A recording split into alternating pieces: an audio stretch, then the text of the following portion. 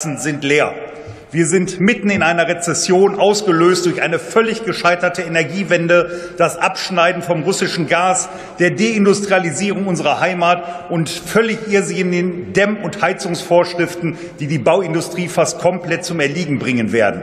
Die Konzerne wandern ins Ausland ab, das Steueraufkommen schrumpft. Da fallen eine Unfug, Klima- und Genderpolitik, feministische und wertegeleitete Außenpolitik gar nicht mal mehr ins Gewicht. Den Sparzwang spüren wir in diesem Haushalt. Sprachförderung deutscher Minderheiten in Osteuropa, Rüstungskontrolle, deutsche Kulturarbeit, finanzielle Unterstützung der Goethe-Institute. Hier wird der Rotstift angesetzt. Da, wo mehr Geld ausgegeben wird, ist die Versorgung der Ihren, Frau Baerbock. Der Personal, die Personalkosten steigen und ihre Verwaltungskosten. Dafür geben Sie Geld aus. Dieses Land hat Außenminister vom Schlage eines Willy Brandt und eines Hans-Dietrich Genscher hervorgebracht. Für diese, Reich, äh, für diese zählte das Erreichte, für sie reicht offensichtlich Frau Baerbock das Erzählte. Und das oft schlecht erzählt, wie beispielsweise ihre Biografie, korrigieren Sie mich, die inzwischen bei der neunten Version angelangt ist. Wissen Sie, Frau Ministerin, im Unterschied zu Ihnen komme ich zwar nicht vom Völkerball, Entschuldigung, Völkerrecht, aber ich habe tatsächlich in Großbritannien gelebt und bin der dortigen Sprache einigermaßen mächtig. Ich sage Ihnen, sparen Sie lieber bei der steuerfinanzierten Visagistin und investieren Sie lieber in Englischunterricht. Sonst haben wir bald more beef mit unseren Nachbarn, was wir alle nicht wollen, wenn Sie verstehen, was ich meine. Und äh, ich bin den Russen sowas von dankbar, dass die ihre Kriegserklärung We are in war with Russia nicht ernst genommen haben. Ähm, wir sind es nämlich nicht. Dies ist nicht unser Krieg. Und jetzt für alle einmal zum Mitschreiben.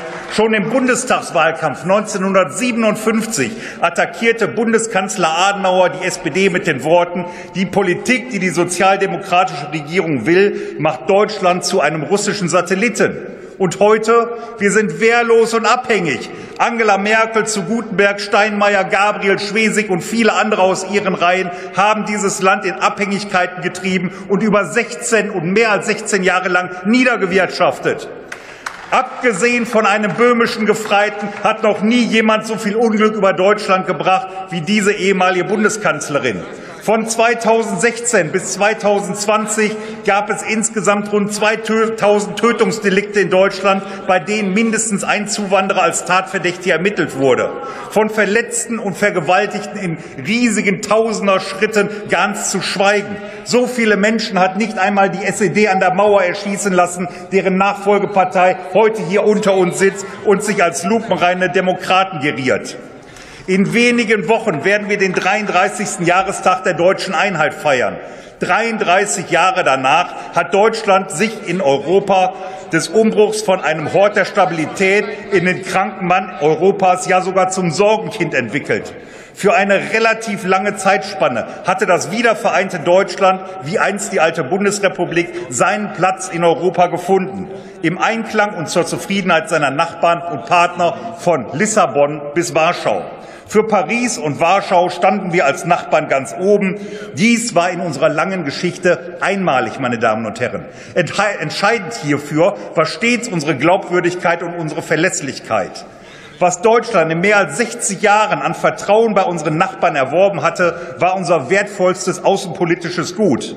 Was waren dafür die Grundlagen? Ich sage es Ihnen. Die deutsche Verankerung in Europa, die partnerschaftliche Einbindung Russlands und drittens der Erhalt der historischen Brücke über den Atlantik. Und heute in Europa sind wir isoliert. Für Paris sind Sie das Problem an der Ostgrenze und für, für Polen das Problem an seiner Westgrenze. Grenzen übrigens, die Ihre Kabinettskollegin, die jetzt schon wieder weg ist, nicht schützen möchte den Satz Konrad Adenauers, wonach die beste Außenpolitik die Wahrnehmung der eigenen Interessen ist, ist unser Ansporn. Deutsche Interessen, Frau Baerbock, haben Sie noch nie verteidigt, ganz im Gegenteil. Und zum Schluss möchte ich noch darauf hinweisen, dass Sie unser parlamentarisches Fragerecht regelmäßig verletzen. Wir haben Sie im Ausschuss, im Plenum schriftlich befragt, wann Sie davon erfahren haben, dass Ihr Haus eine Anweisung erteilt hat, gefälschte afghanische Pässe zu visieren und wer berechtigt war, Personen aus Afghanistan zu benennen, die nach Deutschland zur Rundumversorgung eingeflogen werden. Dies haben Sie verwehrt. Wir haben daraufhin Verfassungsklage eingereicht. Wir bleiben am Ball. Und Frau Baerbock, zum Schluss sage ich Ihnen, mit diesem antidemokratischen Verhalten wären Sie aus der Polis Herr des Kollege, Ihre Perikles, Redezeit ist vorbei. ja, des Perikles herausgeworfen worden, der Heimat der Demokratie. Vielen Dank.